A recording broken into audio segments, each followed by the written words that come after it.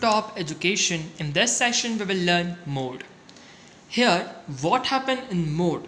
There is no formula to find out when it is in raw data. In raw data, mode is highest frequency of it. For example, 1, 2, 3, 4, 5. So here, 5 will be mode. Let's move to the sum and see clearly. Find out mode. X is given below. Frequency also is given. So here we have mark 30 because it is highest frequency and we have marked the below number of it 13 because it leads in same line. So here here in frequency 30 is highest value so from class interval we mark 13 the same line.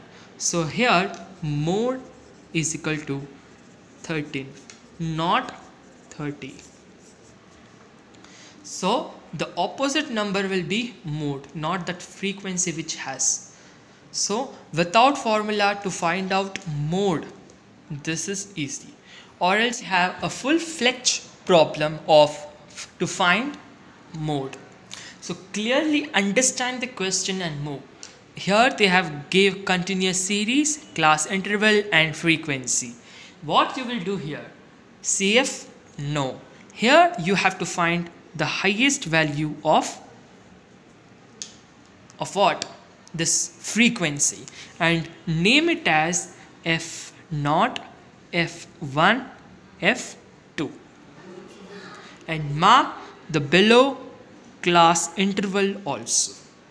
And how you will put this in number? Let's see. L is the starting number of this. So 15 plus bracket. F1 12 f naught 4 so f2 2 into 12 minus 4 minus f2 is 6 and what is the difference between here? 15 to 20 is 5 numbers. So into 5 let's do it. Here you cannot do like you are doing in mode. So check it out here see 12 minus 4 8 so write down here 15 plus 8 divided by into 5 here I have left place because we have to do it do this. So see here check down. 2 into 12 minus 4 minus 6 so 14 is answer.